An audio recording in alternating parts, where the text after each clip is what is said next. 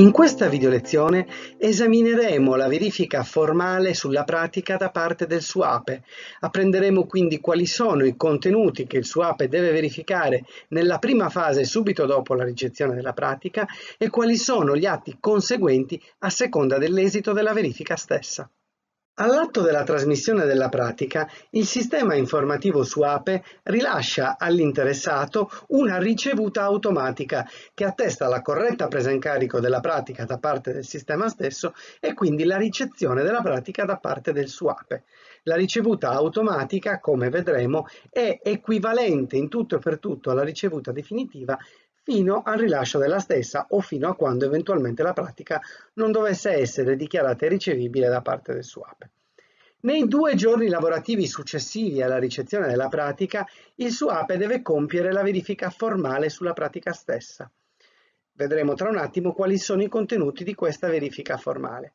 A seguito della verifica formale, il SUAPE deve rilasciare la ricevuta definitiva nel caso di procedimenti in autocertificazione o l'avvio del procedimento per procedimenti di altra natura, oppure può chiedere la regolarizzazione della pratica in caso di carenze sanabili o dichiarare la pratica irricevibile. Vedremo di seguito quali sono questi casi.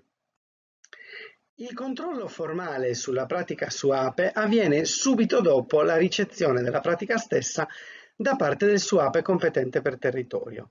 È una fase necessaria del procedimento unico. Questo significa che il SUAPE deve obbligatoriamente e necessariamente verificare tutte le pratiche che riceve. In questa fase il SUAPE effettua un controllo sulla completezza formale della dichiarazione autocertificativa e dei suoi allegati, senza entrare nel merito della veridicità, della bontà delle dichiarazioni rese e della realizzabilità dell'intervento stesso. I contenuti sono quindi esclusivamente di natura formale. Le direttive regionali individuano quali sono i contenuti principali della verifica formale, fermo restando il fatto che in generale la stessa è volta a verificare che la pratica sia presentata in maniera corretta, che sia completa e che sia in sé coerente, evitando quindi che ci siano delle dichiarazioni che si contraddicono l'una con l'altra. L'oggetto della verifica formale è quindi la competenza del SUAPE a ricevere la pratica, intesa sia come competenza territoriale che come competenza procedimentale, l'interesse ad agire, la qualificazione giuridica, quindi la titolarità dell'interessato rispetto al, al, bene nel caso di intervento edilizio o all'attività che intende esercitare e la sussistenza degli elementi essenziali della pratica, che possono essere così riassunti. Corretta, completa e coerente compilazione della modulistica, l'effettiva presenza delle attestazioni di conformità e la presenza degli allegati e dei documenti richiesti per la verifica di conformità, così come vincibili dalla modulistica compilata. L'attuale sistema informatico SUAPE ci consente di effettuare già automaticamente, prima della trasmissione della pratica, tutta una serie di controlli sulla compilazione dei campi obbligatori della modulistica, sulla presenza di tutti i moduli necessari che vengono abbinati automaticamente dal sistema stesso e dalla presenza di tutti gli allegati che sono impostati come obbligatori nella configurazione del sistema stesso, rendendo quindi più semplice la verifica formale da parte dell'operatore. Vediamo in questa slide alcuni esempi di carenze della pratica riportati nelle direttive regionali.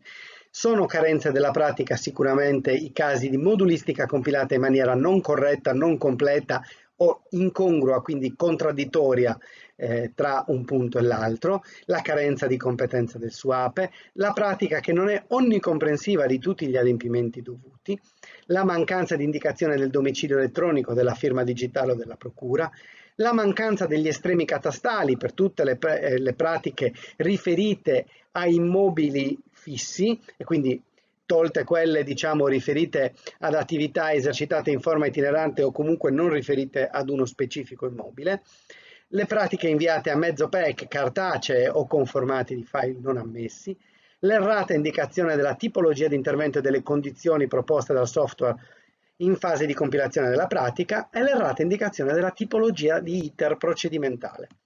Salvo specifica apposita regolamentazione locale, il mancato versamento dei diritti di segreteria non è motivo di irricevibilità della pratica.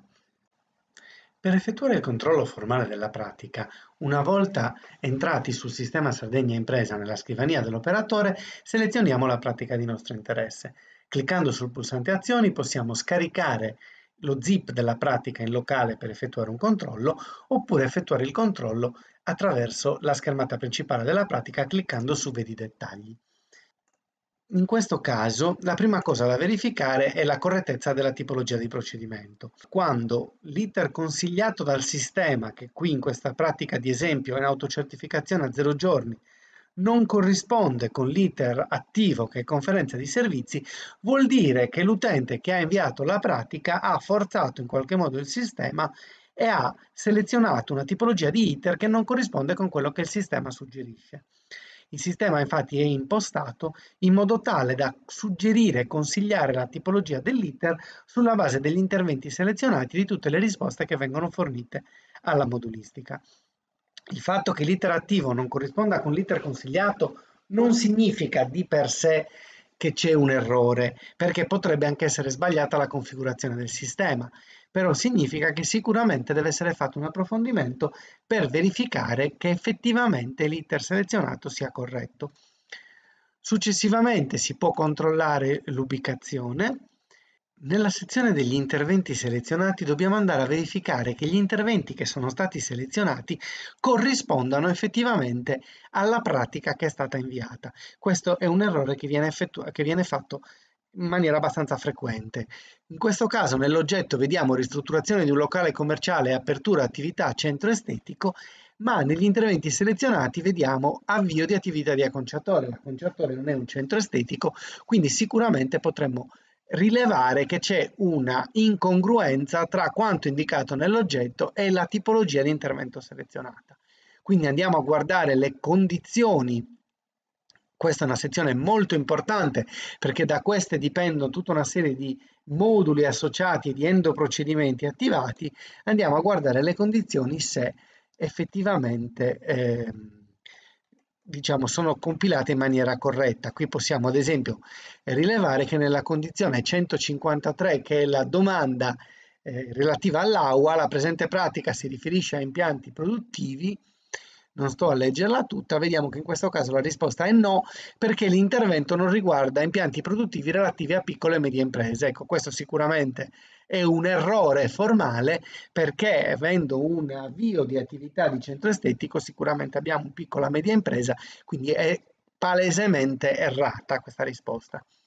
Possiamo quindi verificare l'anagrafica Dopodiché possiamo verificare i moduli, li apriamo eh, uno per uno e li possiamo vedere in due modalità o visualizzando il PDF, quindi vedete visualizzando esattamente la schermata di compilazione, oppure eh, cliccando sempre su azioni visualizza modulo e visualizziamo la schermata di imputazione dei dati che è sicuramente più chiara.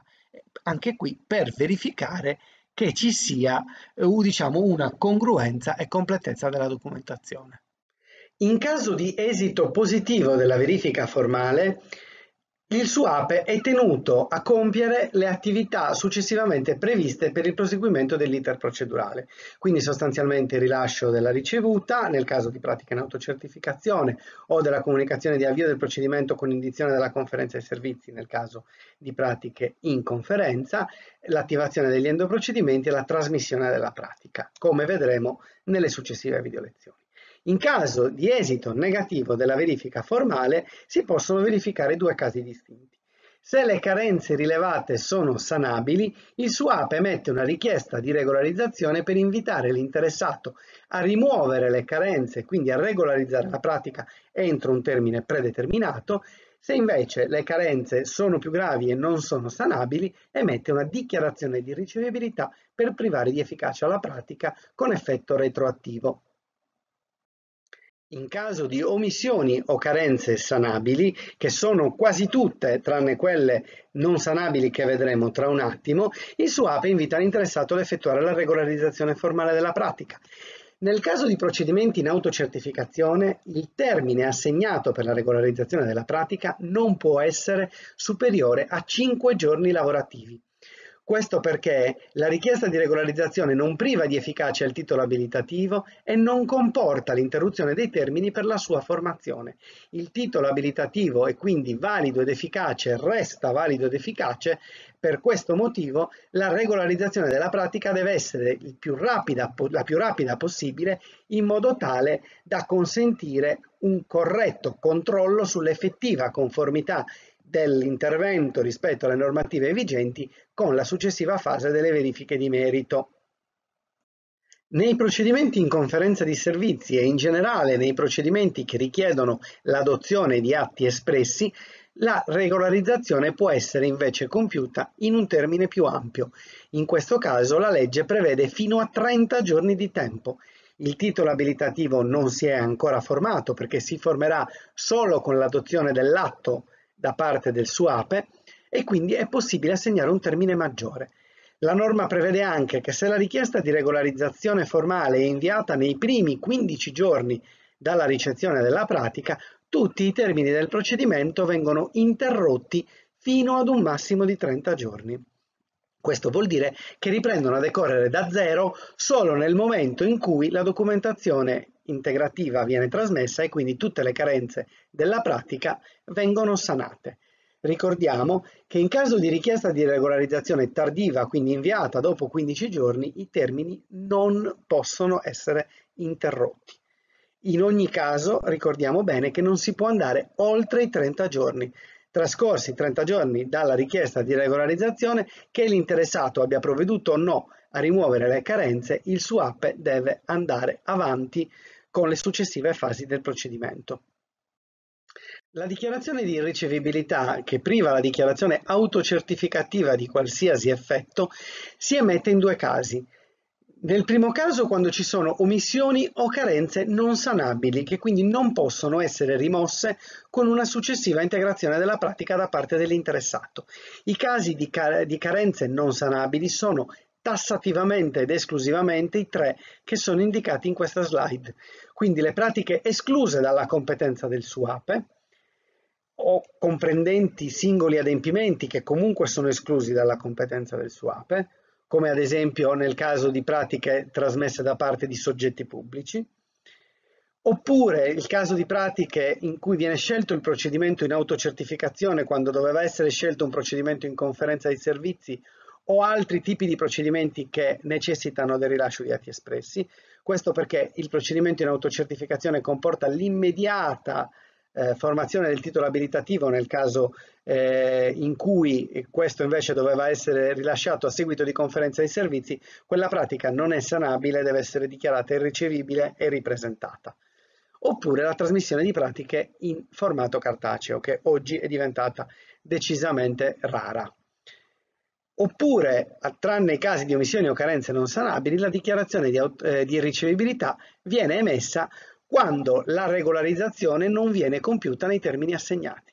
È molto importante ricordare che la dichiarazione di ricevibilità deve contenere la motivazione e l'indicazione analitica di tutte le carenze, le correzioni e le integrazioni necessarie per la presentazione di una nuova pratica completa e ricevibile, in maniera tale che l'interessato sia messo in condizione di trasmettere una pratica correggendo le carenze evidenziate ed evitando che in caso di riproposizione successiva della pratica la stessa gli venga nuovamente dichiarata irricevibile o comunque gli vengano contestate delle carenze che potevano essere rilevate già nella prima versione trasmessa. La dichiarazione di irricevibilità può essere emessa dal SUAPE solo prima della trasmissione, sia essa manuale o automatica, della pratica agli enti competenti per le verifiche. Nel caso di procedimento in autocertificazione, il termine tassativo è di 15 giorni decorrenti dalla ricezione della pratica da parte del SUAPE, anche nel caso in cui il SUAPE abbia nel frattempo richiesto la regolarizzazione della pratica. Nel caso invece di procedimenti in conferenza di servizi, il termine ordinario resta sempre quello di 15 giorni dalla ricezione della pratica, ma nel caso in cui sia richiesta una regolarizzazione della pratica stessa, che come abbiamo visto può arrivare fino a 30 giorni, il termine per la trasmissione della documentazione agli enti terzi è, diciamo, spostato di 30 giorni in avanti. Trascorsi questi termini, quindi successivamente alla trasmissione della pratica, il SUAPE può dichiarare la pratica irricevibile solo in presenza delle condizioni previste dall'articolo 21 nonies della legge 241 del 90, quindi nell'esercizio del potere di autotutela. Questo avviene solamente nei casi di violazione di legge o di incompetenza del SUAPE.